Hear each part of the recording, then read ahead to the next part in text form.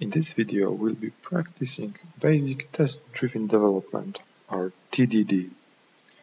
Our task is to implement characters counting in string.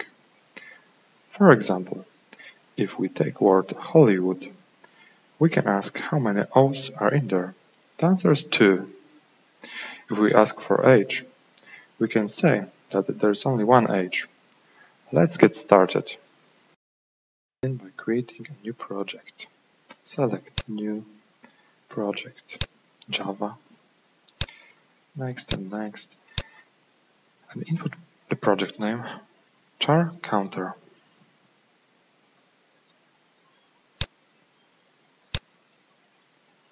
This is the project outline. We have one directory for sources. We would like to have productive and the test code separated. Click Alt Insert. We create new directory for test. And we need to mark this directory as test sources root. Alright, we can create our first test. Alt insert to create new Java class. The name will be character counter test. Having this class, we open a new line and click Alt Insert to insert a new test method. We'll be using JUnit selected. And the test method will start with counter. The input string will be A and it should return 1. We need to deal with lack of JUnit in class path. Alt enter, add JUnit to class path. Now we can start by creating a new object character counter. This object will take as an argument string A. Alt enter to create in a Java class.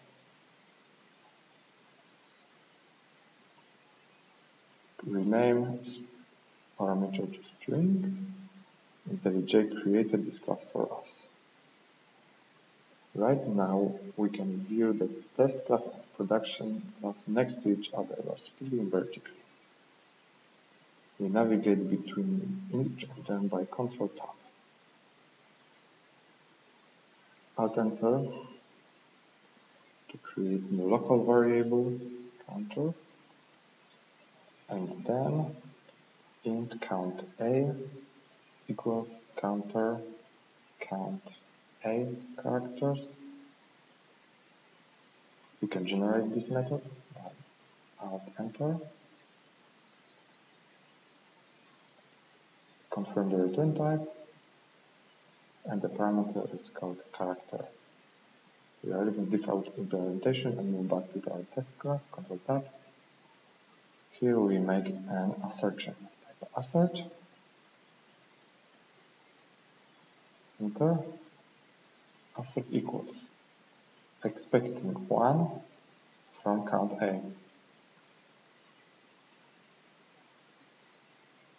Right now we are ready to run the test. Move cursor to the class name and hit Ctrl Shift F10. The test should be failing.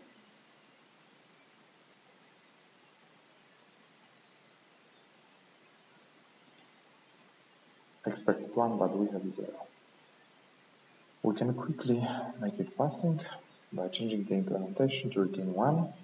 Run it again, Ctrl F5 this time and right now it is passing. Congratulations, we implemented our first test. Now we can write our second test. Two letters A's in input. Once again, Alt Insert to create the test method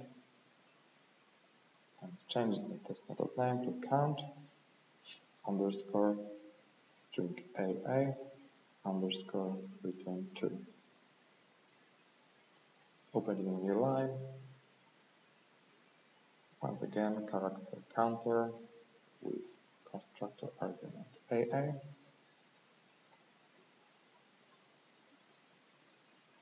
New local variable. This counter should count as and should be assigned to local variable count A. We now should assert assert equals, expect, expecting 2 from count A. Right now, run the test and observe the test is failing.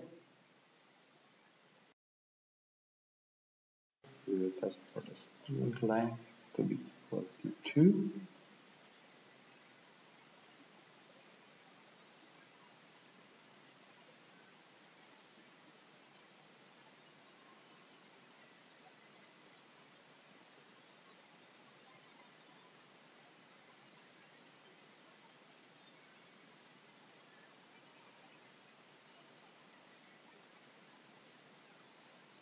and we have to deal with missing class field string. Simply go to the constructor parameter, hit Alt Enter and generate.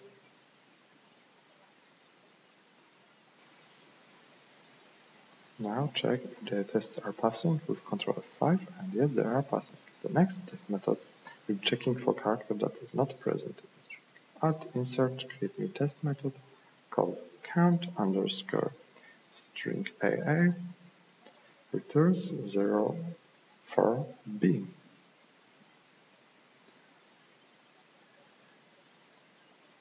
The same as previously, create a new character counter with string AA.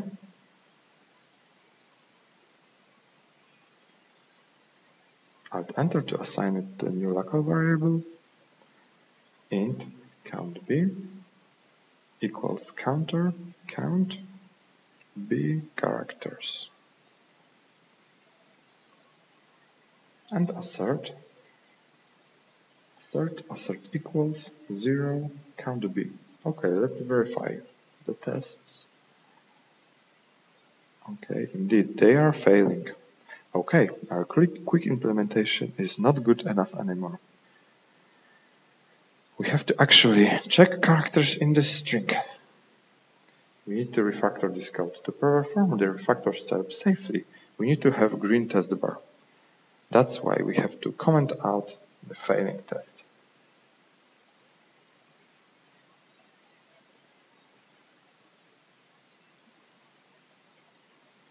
Select the last test, comment it out, verify that tests are indeed passing, Right now we are ready to change the implementation.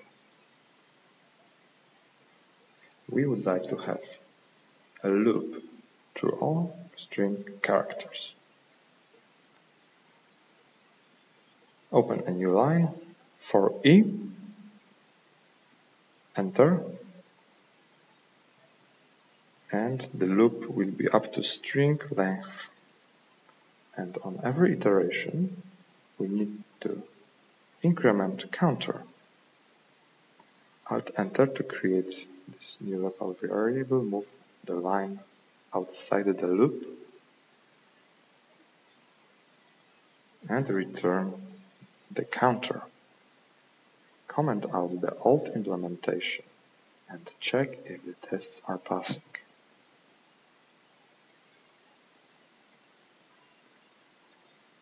Okay, the refactor was very successful. We can delete the commented code. Once deleted, one more check for tests are passing and uncomment our last test. We see the failing test and we need to actually check for characters. If string char at i equals character, we increment Otherwise, we don't increment. So let's check our tests and hooray, they are passing. This complements the implementation within free test method. We have a very nice solution. Please write in the comment below what you think about this implementation. If you have any observations, we'll try to deal with them in next video. Thank you very much. Have a nice day.